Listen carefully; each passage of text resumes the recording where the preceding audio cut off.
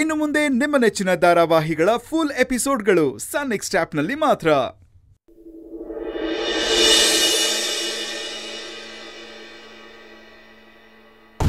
ನೀನ್ ಕದ್ದು ಮುಚ್ಚಿ ಏನು ಮಾಡ್ತಿಲ್ಲ ಅಂತ ಹೇಳ್ತಿದ್ಯಲ್ವಾ? ಈಗ ನೀನ್ ನಿನ್ ತಂಗಿ ಮನೆಗ್ ತಾನೇ ಹೋಗಿ ಬರ್ತಿರೋದು? ಹೌದು ನನ್ನ ತಂಗಿ ಮನೆಗೆ ಹೋಗಿದ್ದೆ. ಇದ್ರಲ್ಲಿ ಕಳ್ತನ ಏನಿದೆ ಅಂತ ನನಗೆ ಗೊತ್ತಾಗ್ತಾ ಇಲ್ಲ. ಕಾಲಿ ಕೈಯಲ್ಲಿ ಹೋಗಿ ಬಂದಿದ್ರೆ ಕಳ್ತನ ಅಂತ ಯಾರು ಹೇಳ್ತಾ ಇರ್ಲಿಲ್ಲ. ಆದ್ರೆ ನೀನು ನಮ್ ಮನೆಗ್ ಪಾರಂಪರಾಗತವಾಗಿ ಬಂದಿರೋಂತಹ ತೊಟ್ಲನ್ನ ನಿನ್ ತಂಗಿ ಹೊಟ್ಟೆಲ್ ಹುಟ್ಟೋ ಮಗುಗೆ ದಾನ ಮಾಡ್ಬಿಟ್ಟು ಬಂದಿದ್ಯಲ್ಲ? ಇದಕ್ಕೇನಂತಾರೆ?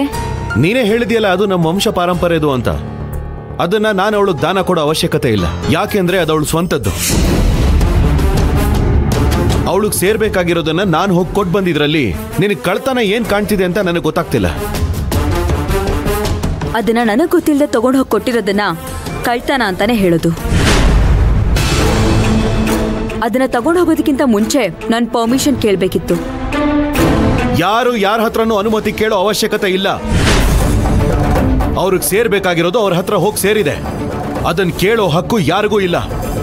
ಮಾವನವ್ರೆ ನಿಂತ್ಕೊಳ್ಳಿ ಇನ್ನು ಮಾತ್ ಮುಗ್ದಿಲ್ಲ.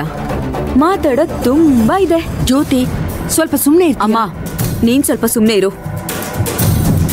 ಅದ್ಯಾರೋ ಜ್ಯೋತಿಷ್ಯರು ಹೇಳಿದಾರಲ್ಲ, ನಿನ್ ತಂಗಿ ಹುಟ್ಟ ಮಗುವಿಂದ ನೀನ್ ಬೀದಿಗೆ ಬೀಳ್ತೀಯಾ ಅಂತ. ಅದಕ್ಕೆ ನೀನು, ಇವಾಗ್ಲೇನೆ ನಿನ್ ತಂಗಿಗೆ, ನಿನ್ ತಂಗಿ ಹುಟ್ಟೋ ಮಗುಗೆ ನಿನ್ ಆಸ್ತಿ ಪಾಸ್ತಿನೆಲ್ಲ ಉಡುಗೊರೆ ಕೊಡ್ಬೇಕು ಅಂತ ಪ್ಲಾನ್ ಮಾಡಿದ್ಯಾ? ಹೌದು, ಹಾಗೆ ಅನ್ಕೋ, ಏನಿವಾಗ? ಸರಿಯಾಗಿ ಕೇಳಿಸ್ಕೋ. ನಾನು ಏನೇ ಮಾಡ್ಲಿ, ಏನೇ ಮಾಡದೇ ಇರ್ಲಿ, ನೀನ್ ಮಾತ್ರ ಮಾಡೋದನ್ನ ಮಾಡ್ತಾ ಇರ್ತೀಯ? ಅದಕ್ಕೆಲ್ಲ ನಾನು ತಲೆ ಕೆಡಿಸ್ಕೊಂಡು ಕೂರೋದಕ್ಕಾಗಲ್ಲ. ನನಗೇನ್ ಮಾಡಬೇಕು ಅನ್ಸುತ್ತೋ ಅದನ್ನ ನಾನು ಮಾಡ್ತಾ ಇರ್ತೀನಿ. ನಿನಗೊಂದು ಕೇಳ್ತೀನಿ.